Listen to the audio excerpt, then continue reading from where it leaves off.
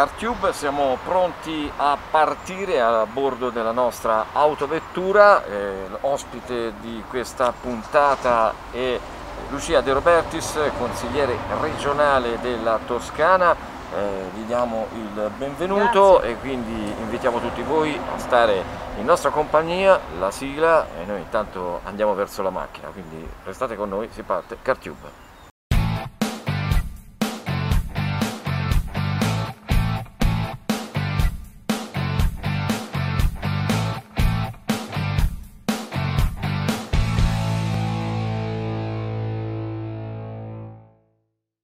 GP Motors è specializzata nella vendita di vetture aziendali chilometri zero e usate, vetture accuratamente scelte, tagliandate e garantite alla data d'acquisto. Onestà, chiarezza, affidabilità sono le qualità che hanno permesso a GP Motors di crescere nel tempo, diventando un sicuro punto di riferimento per il cliente. Lo showroom di auto di GP Motors presenta veicoli di qualità, tutti dotati delle caratteristiche più avanzate, ideali per ogni occasione, fornendo così stile, prestigio ed eleganza. GP Motors ha sede in via Fleming 69, vicino al centro di Arezzo, nel cuore della Toscana, una struttura operativa in tutta Italia. GP Motors è inoltre concessionaria ufficiale vendita e assistenza per Arezzo e provincia dei marchi Honda, Mitsubishi, SsangYong e Mahindra.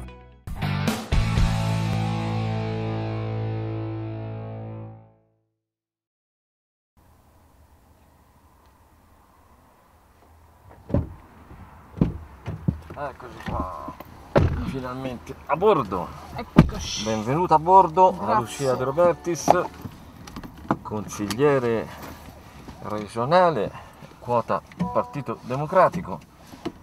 Eh, mi viene da dire la prima cosa, viva le donne, perché le donne, poi ne parleremo, eh, viene- questo è un paese, non è un paese per giovani e non è un paese per donne, purtroppo.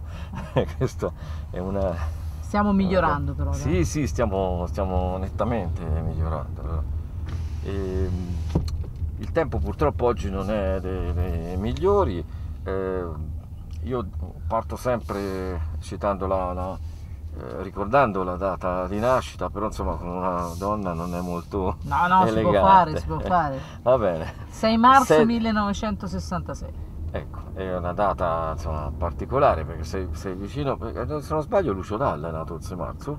Sì, 4 credo sia la Ah, il famosa 4 canzone. marzo, sì, sì, sì. Eh, Quindi insomma a marzo, poi a, a marzo nacque anche un altro grandissimo eh, musicista, cantautore che era Lucio Battisti, insomma eh, non ci siamo fatti mancare assolutamente niente. Allora, eh, te hai iniziato Lucia eh, la tua eh, carriera politica eh, negli anni 90 nella circoscrizione Giotto, quindi insomma sei partita proprio dalla, dalla scuola politica che oggi purtroppo non c'è più, ecco, primo tema, perché le circoscrizioni purtroppo non ci sono più.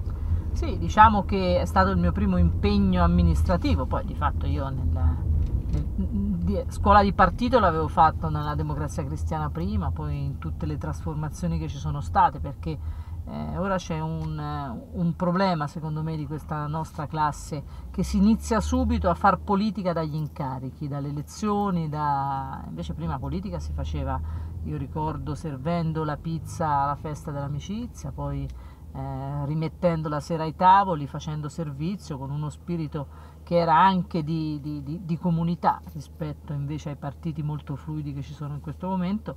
Poi dopo abbiamo fatto scuola, noi andavamo a fare le scuole estive, eh, mi ricordo un anno a Brescia con eh, l'allora ministro Coria, insomma abbiamo, abbiamo studiato un po' da dove venivamo, credo sia indispensabile per capire dove vogliamo arrivare.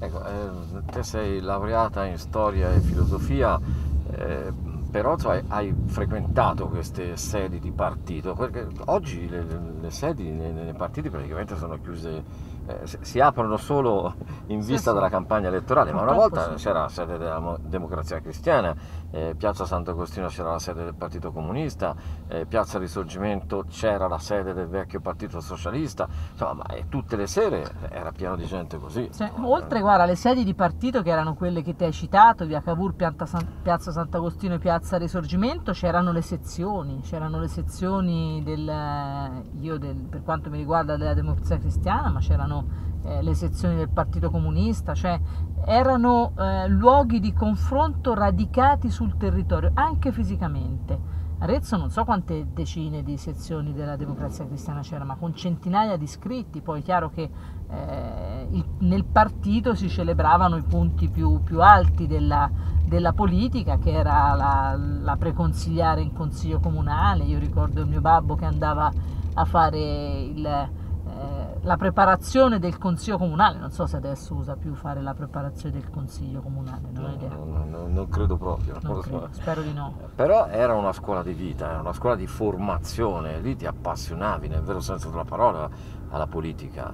Sì, sì, era, era passione ed era, ed era visione comune delle cose, perché venivano discussi eh, gli argomenti venivano discussi, non solo venivano calati sul territorio quello che erano gli argomenti nazionali, io ricordo sono stati gli anni del, della legge sul divorzio, sono anni che hanno segnato dal mio punto di vista ricordo la battaglia contro l'aborto, ricordo insomma questa è la mia storia che poi dopo eh, è confluita nella, nella Margherita prima, nel Partito Democratico poi, provando a, a, trovare una sintesi politica insieme a quelli che all'epoca erano gli avversari no? Nel, eh, del Partito Comunista, provando a trovare una sintesi nelle, negli obiettivi e nei valori che ci accomunano, che sono comunque eh, il, senso di, di, comunità che vogliamo dare a, al Paese. E poi ehm c'è stata l'entrata nel 2004 in Consiglio Comunale e da lì poi successivamente in Consiglio regionale. E, fra l'altro nel penultimo mandato hai avuto anche un incarico eh, importante, non perché tu non lo abbia adesso, ma insomma è stata vicepresidente del Consiglio regionale e poi hai fatto parte, come fai parte adesso, di, di importanti commissioni. Sì, mm, è proprio diverso il ruolo. Prima, nella passata legislatura, eh, dico la verità, è stato un ripiego quello del vicepresidente del Consiglio regionale perché io volevo, eh, volevo far parte della commissione anche l'altra volta, della commissione in quel caso commercio. Il presidente di commissione è dal punto di vista dell'incisività, non mi piace la parola potere quando si parla degli interessi dei cittadini, ma dal punto di vista dell'incisività e del eh, mandare alcuni provvedimenti in un senso o in un altro è assolutamente molto di più. Eh, diciamo che ho avuto la fortuna di fare il vicepresidente Eugenio Giani eh, che lascia molto, lasciava molto spazio sia sul territorio che sulle altre eh, province perché lui aveva assolutamente un ruolo eh, ha interpretato il suo essere presidente del Consiglio, che poi ha ripagato questo suo interpretare perché è stato eletto a presidente della regione, come un eh, momento di confronto e di con tutti i comuni della, della Toscana. No? Lui and- andava a visitare i sindaci, sentiva i problemi, cercava di declinarne eh, nei provvedimenti le esigenze, insomma, quindi avevo molto spazio come, come come vicepresidente. Eh, più invece diciamo vattato è stato il mio, il mio, lavoro in commissione ambiente che invece in questo momento presiedo e che invece dovrà vedere nei prossimi mesi per esempio eh, partorire il nuovo piano dei rifiuti e se vi par poco per una regione incidere nel, eh, nel piano dei rifiuti che significa trovare i luoghi dove verranno fatti gli impianti e come questa regione interpreta anche la transizione ecologica dello stesso piano nazionale di residenza, insomma è un ruolo molto molto impegnativo, vi direi a volte preoccupante. Ecco, qui a Arezzo siamo messi bene a livello di smaltimento rifiuti, siamo, eh, rispetto a altre aree della Toscana siamo, siamo privilegiati. Diciamo. Sì, sì, Arezzo è molto variegato, come se si parla Arezzo città è una cosa, Arezzo provincia è addirittura meglio in alcune zone, ora eh, dobbiamo dobbiamo affrontare il, il, revamping che ci sarà della, del, dell'impianto di San Zeno e capire come ci collochiamo come, come impianto. È stato fatto molto, credo che la Regione abbia questa doppia sfida di licenziare questo piano dei rifiuti e si tratta di rifiuti urbani naturalmente e poi iniziare a confrontarsi con i territori per quanto riguarda tutto lo smaltimento dei rifiuti dei distretti industriali. Ad Arezzo abbiamo l'oro, non ci scordiamo che eh, la, la, Toscana è fatta molto a, a, distretti industriali, l'oro ad Arezzo, il tessile a Prato, il conciario su Pisa,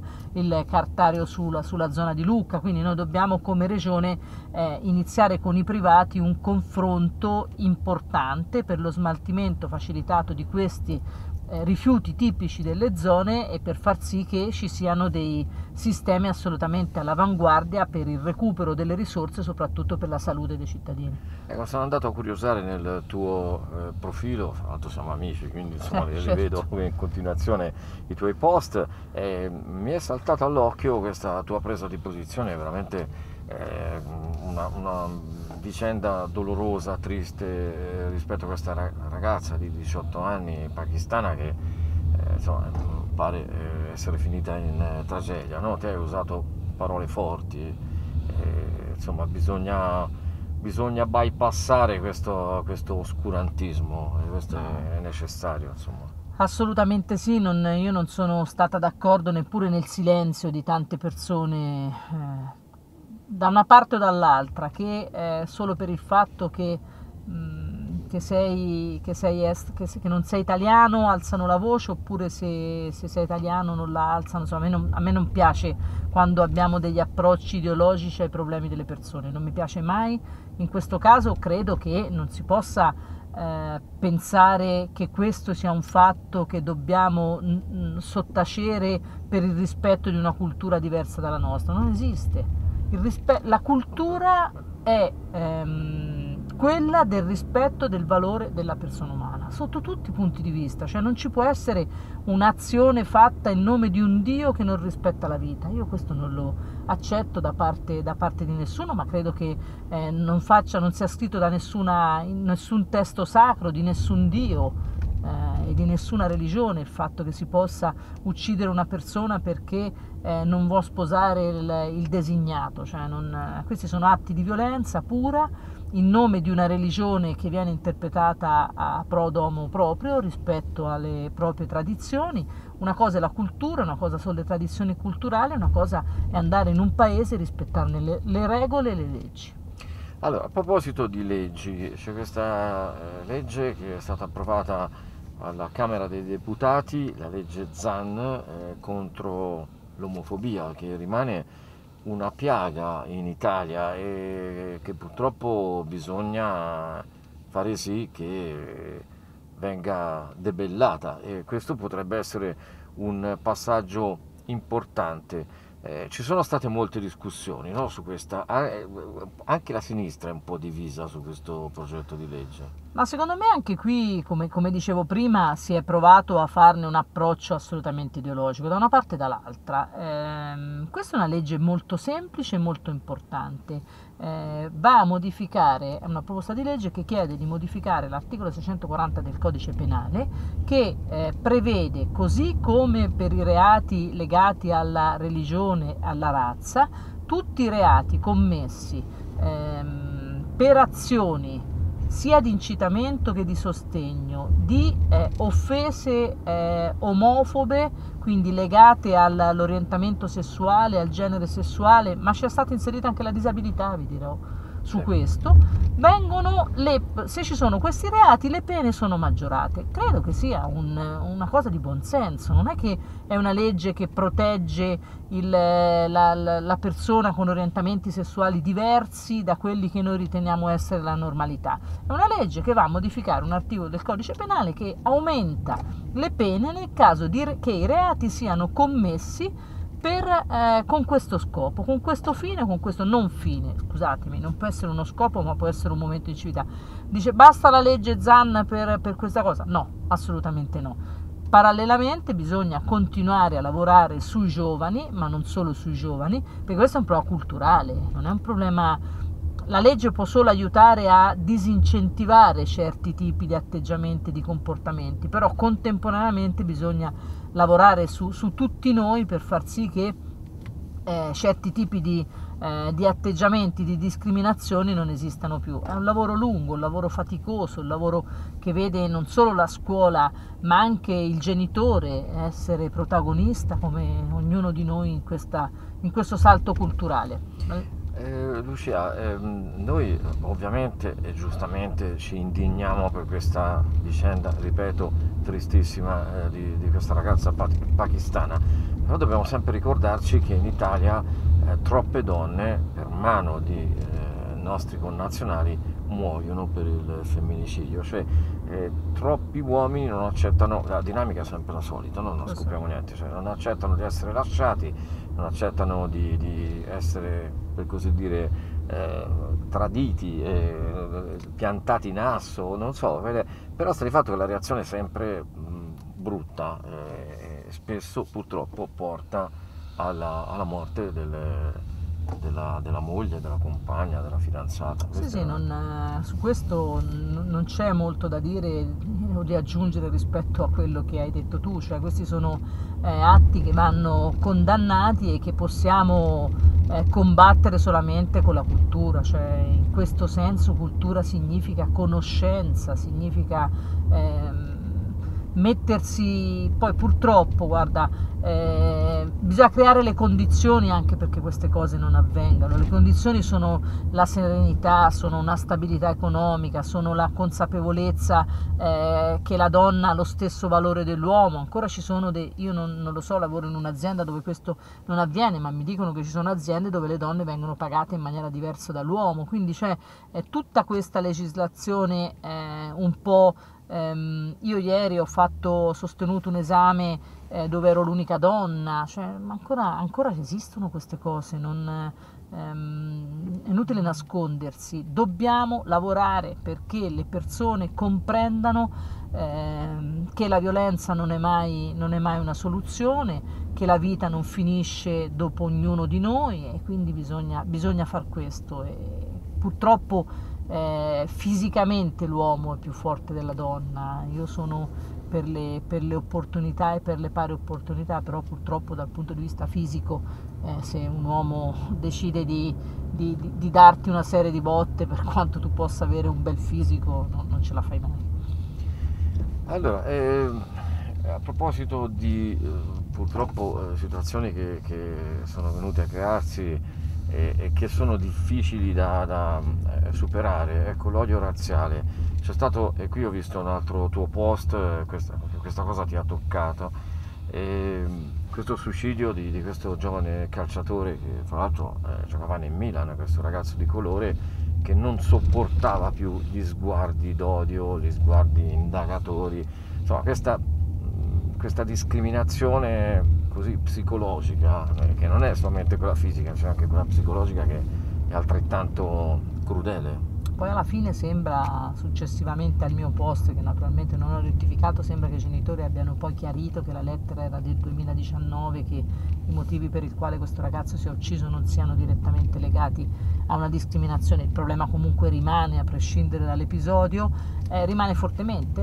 Eh, cioè, tanto mi sembra di che stiamo attraversando un ragionamento da qualche minuto insieme che ha uno stesso filo rosso, sì, no? che esatto. è quello del eh, ritenersi superiori agli altri, questo che va, che va debellato non solo in questo paese, l'uomo si ritiene superiore alla donna, il bianco si ritiene superiore al nero, il, eh, il la persona che per qualcuno no, orientata in maniera normale sessualmente si ritiene eh, superiore a chi esprime un'identità sessuale eh, diversa e dobbiamo provare a capire che eh, la superiorità la si dimostra in maniera diversa soprattutto eh, lavorando per far partire tutti dallo stesso blocco di partenza che è quello della cultura, dell'istruzione e della, della capacità di discernere dalla, eh, che, che, che, la, che la dà solo la cultura e la conoscenza degli altri. Allora, noi ci fermiamo un attimo, eh, restate con noi per la seconda parte di CarTube in presenza eh, di eh, Lucia De Robertis. A tra poco. GP Motors è specializzata nella vendita di vetture aziendali chilometri zero e usate vetture accuratamente scelte, tagliandate e garantite alla data d'acquisto. Onestà, chiarezza, affidabilità sono le qualità che hanno permesso a GP Motors di crescere nel tempo, diventando un sicuro punto di riferimento per il cliente. Lo showroom di auto di GP Motors presenta veicoli di qualità, tutti dotati delle caratteristiche più avanzate, ideali per ogni occasione, fornendo così stile, prestigio ed eleganza. GP Motors ha sede in via Fleming 69, vicino al centro di Arezzo, nel cuore della Toscana, una struttura operativa in tutta Italia. GP Motors è inoltre concessionaria ufficiale vendita e assistenza per Arezzo e provincia dei marchi Honda, Mitsubishi, SsangYong e Mahindra.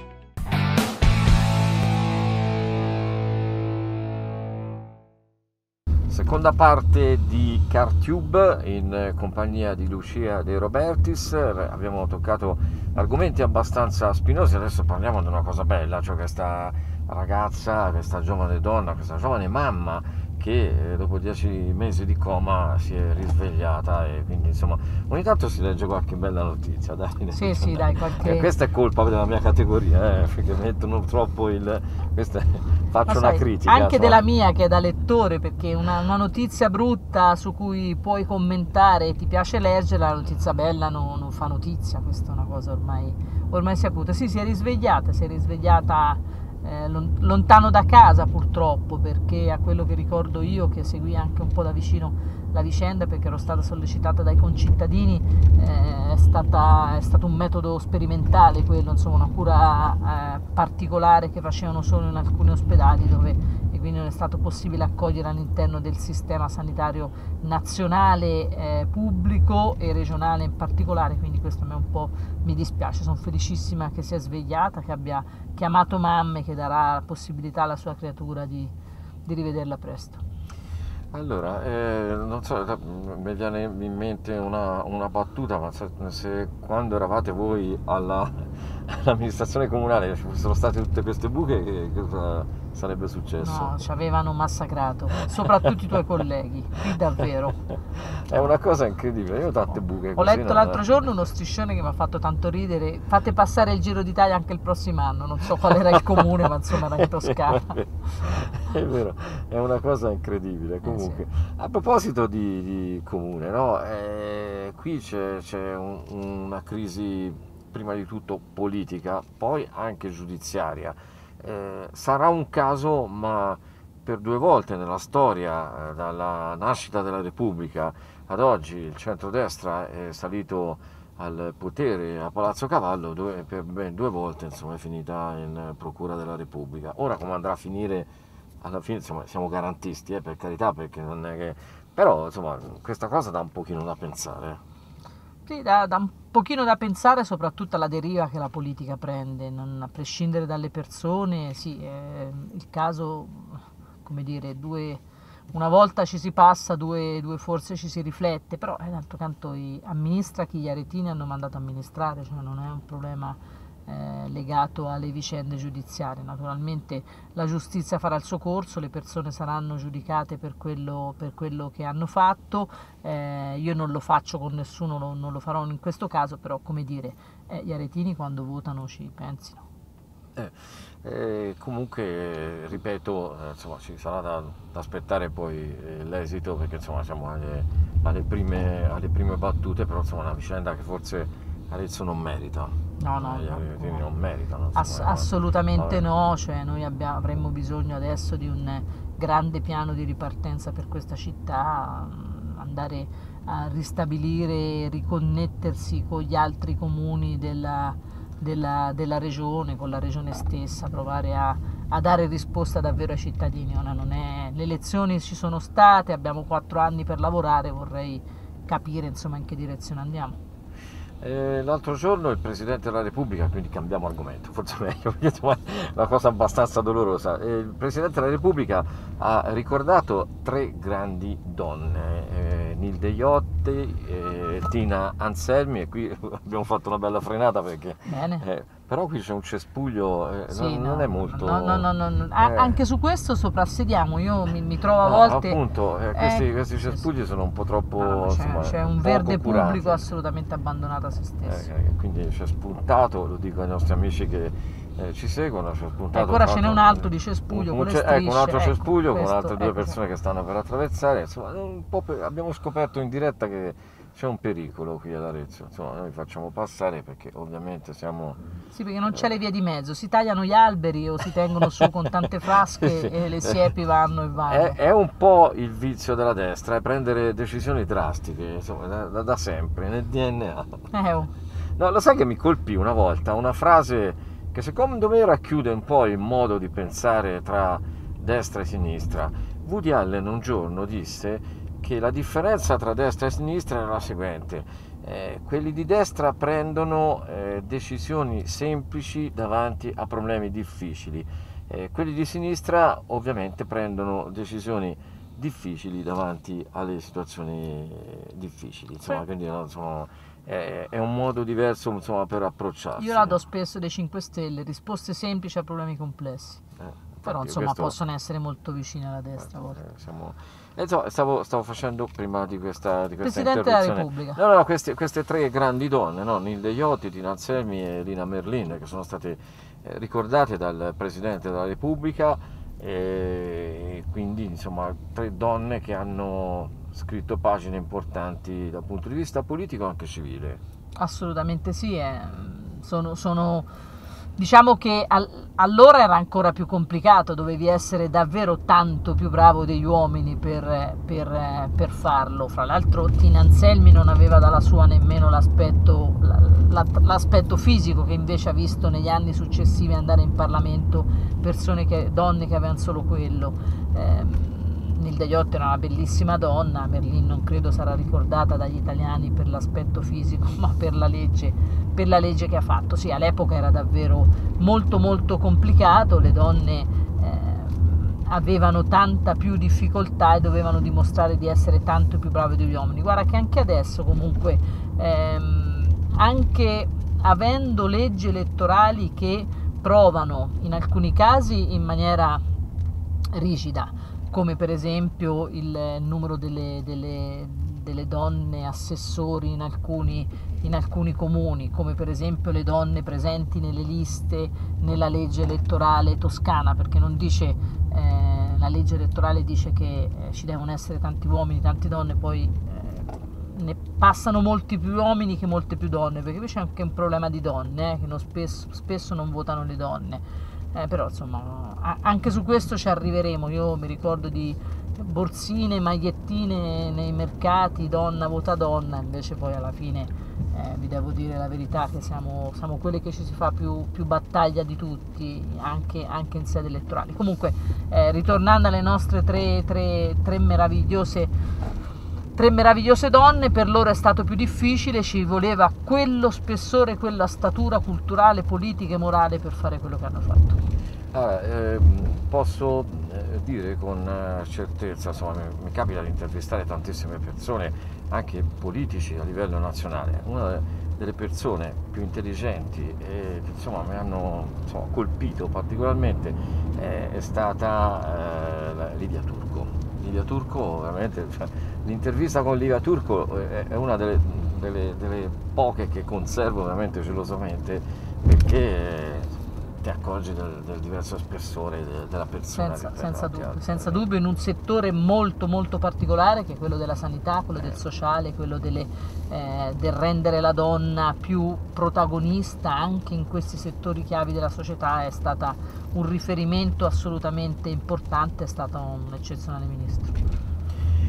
Allora, io eh, verso la conclusione di questo nostro viaggio volevo toccare il tema resistenza, perché è venuto fuori, tutti gli anni viene fuori questo, questo, eh, questa diatriba che secondo me non ha veramente ragione di esistere, cioè la resistenza è come se fosse solo e esclusivamente marcata con eh, la bandiera rossa e la resistenza l'hanno fatta tutti gli uomini tutti gli antifascisti e Ma tutti certo. coloro che cioè, eh, certo. volevano ribellarsi all'occupazione nazifascista. Ma certo, c'è stata una resistenza di matrice cattolica che Importantissima. assolutamente con Bartali che è stato uno degli artefici maggiori nella nostra, nella nostra regione che nascondeva i pizzini dentro la canna della, della bicicletta quindi eh, anche qua si torna a quello che si diceva prima cioè quando eh, la storia viene eh, distorta per l'uno o per l'altra cosa ma secondo te eh, oltre alla resistenza ti pare normale che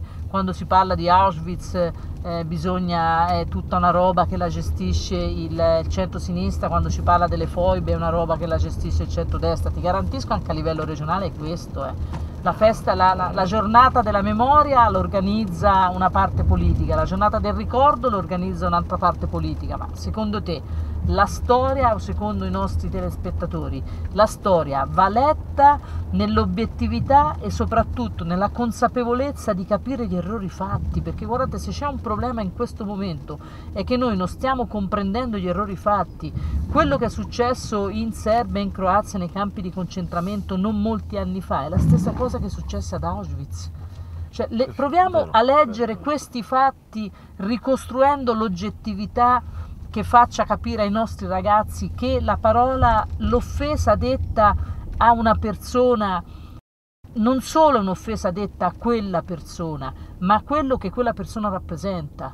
Una, una- una classe ehm, politica piuttosto che un'etnia, piuttosto che una religione, piuttosto che una razza, ce n'è una sola, ma insomma eh, bianco, nero, che il covare eh, quell'odio ha portato a grandi, a grandi stermini nel- nel- in, tutto, in tutto l'Occidente. Quindi allora forse la discriminazione non è solo da debellare perché in quel momento crea la, la rissa. Allora, allora, io vi faccio, dico solo una cosa per se posso. Ehm, sabato sera è successo un episodio gravissimo in piazza di Badia. Eh, quando io la mattina ho letto il giornale, sapete il giornale il eh, web naturalmente, sapete che ho detto? Sicuramente sono italiani perché nessuno scrive stranieri colpiscono un agente. Ma vi pare normale? No. Non abbiamo, so- non abbiamo se era successo grave- gravissimo il fatto, gravissimo a prescindere da chi l'aveva fatto, ma abbiamo capito che erano italiani non perché erano stati presi, ma perché non si diceva che erano stranieri. Allora, allora tutti dobbiamo fare uno sforzo, anche l'informazione Vero. non solo la politica, ma anche l'informazione deve far comprendere che i gesti eh, sono gravi a prescindere da chi li compie. Non perché se uno è nero e è nato da un'altra parte mh, deve, deve essere più bravo di me, deve essere rispettoso delle leggi come deve essere rispettoso io. Stai nel nostro paese, ti offriamo le opportunità che, che- che possiamo, perché ci sono anche delle difficoltà oggettive, però rispetti le regole. Se non rispetti le regole, torni da dove sei venuto. Questo è il mio pensiero. Sì, sì, sì, questo senza, senza ombra di dubbio. Ma non perché Allora, sono razzista, io no, sono questione- assolutamente, eh, eh. assolutamente accogliente, credo che l'integrazione debba essere fatta molto, molto prima eh, nella testa delle persone che nel- negli strumenti o nei contenitori che invece eh, qualche volta ci danno l'idea che abbiamo risolto il problema dell'integrazione nei paesi e nelle città, non è così, eh, bisogna riempire di contenuto, no? i contenitori poi verranno.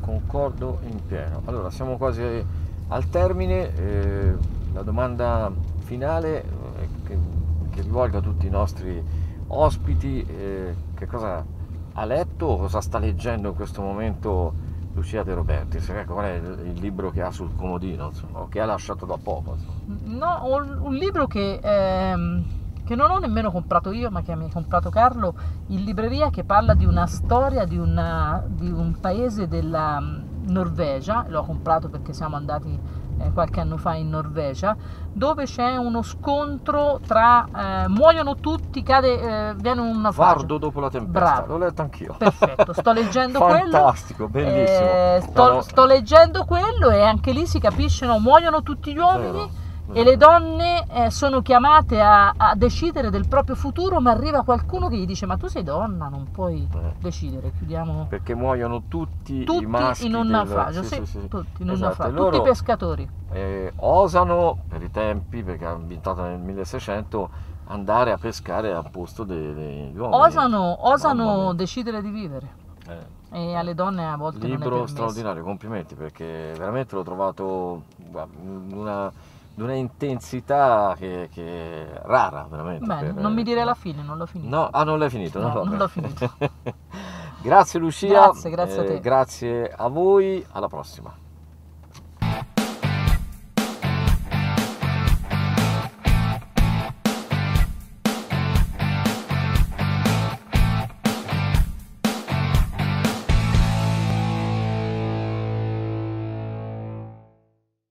GP Motors è specializzata nella vendita di vetture aziendali chilometri zero e usate, vetture accuratamente scelte, tagliandate e garantite alla data d'acquisto. Onestà, chiarezza, affidabilità sono le qualità che hanno permesso a GP Motors di crescere nel tempo, diventando un sicuro punto di riferimento per il cliente. Lo showroom di auto di GP Motors presenta veicoli di qualità, tutti dotati delle caratteristiche più avanzate, ideali per ogni occasione, fornendo così stile, prestigio ed eleganza. GP Motors ha sede in via Fleming 69, vicino al centro di Arezzo, nel cuore della Toscana, una struttura operativa in tutta Italia.